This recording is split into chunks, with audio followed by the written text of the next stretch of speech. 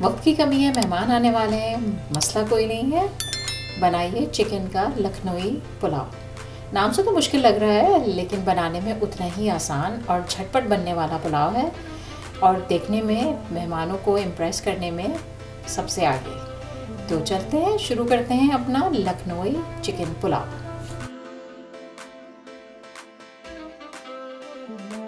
चलें फिर अपना पुलाव बनाना स्टार्ट करते हैं। ये पुलाव जो है वो बहुत सिंपल है और आसान है। इंग्रेडिएंट्स की लिस्ट बहुत छोटी है।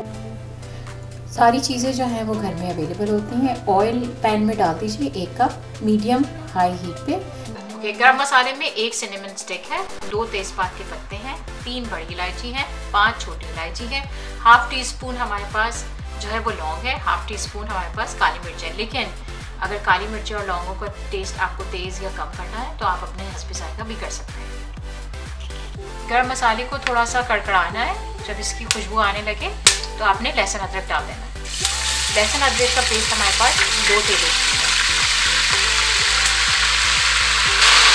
लहसुन अदरक की जैसी खुशबू आने लग जाए, आप चिकन डाल दें। ये हमारे पास एक किलो चिकन है। और एक किलो चिकन के लिए मैंने चार कप चावल लिए। इस चिकन को आप थोड़ा सा गुलाबी कलर दे दें और उसके बाद से हम अपनी रेसिपी को आगे लेके चलेंगे। तीन टमाटर मीडियम साइज़ के फाइनली चॉप आधा किलो। तो टू टीस्पून कुटी हुई लाल मिर्चें आप अपने हिसाब से ज़्यादा और कम भी कर सकते हो। तो एक कप दही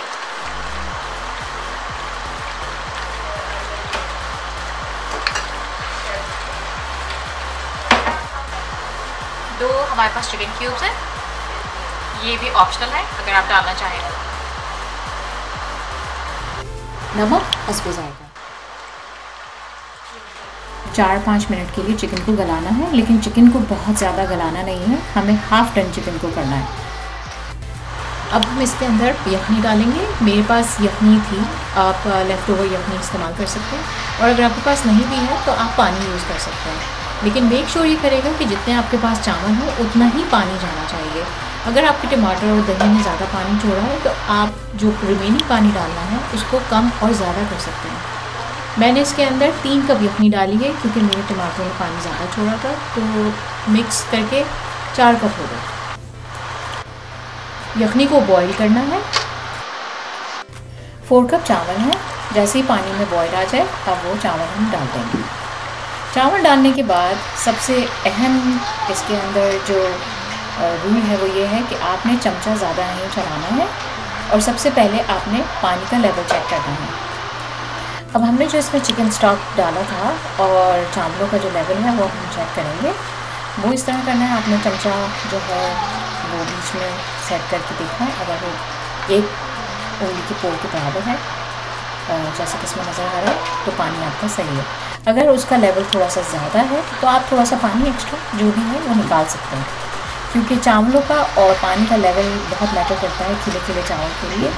जितना पानी का लेवल सही होगा, चावल उतने ही खिले हुए बने और ढकने को पूरा ढकना नहीं है, उसको थोड़ा सा खुला रखना है, वरना चावल नीचे लगना शुरू हो जाएँगे। जैसे ही चावलों में पानी कम होना शुरू हो जाएगा, मैं चमचा नहीं चलाती उसको आपने हिलाना है, ताकि चावल टूटे नहीं।